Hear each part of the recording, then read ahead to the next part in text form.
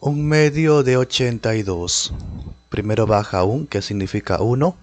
Medio es sobre 2. D es multiplicación. Y ahora 82. Como hay multiplicación, el 82 también se podría simplificar o dividir entre el 2. Dividir mejor porque esta división sale 41. O sea, exacto sale, ¿verdad? Así que queda el 1 de arriba por 41 que salió de la división. Multiplicas y queda 41. Fin.